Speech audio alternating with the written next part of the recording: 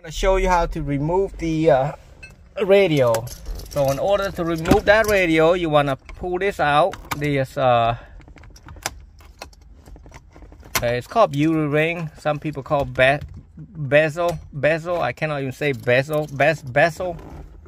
Uh, now you want to start removing this. Take a flathead, pry it out, and then you want to put the key in ignition.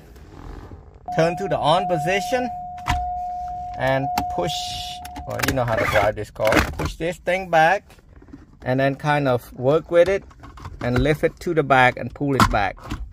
Right there. I can't pull it by one hand but maybe push this thing to the back right here and then kind of move it right there like that. Then you're gonna see a 10 millimeter. I mean I've done many of these back in the day but I haven't done it for a while. So you gotta take this 10 millimeter. Oh actually somebody took it out already. So the customer somebody took well yeah of course i forgot. They installed the radio before. They just sell the car and took the radio and everything. So you you got 10 millimeter right here and 10 millimeter right there. Take that out and then pull it out straight out. And your best bet is to step on the uh, parking emergency brake right here so it don't come back or move.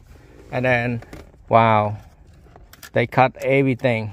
Look at that so they, wow, they cut the antenna, they cut everything. Why would somebody do stuff like that? Why would you cut it like that? Unless, so now I'm gonna move this out right here.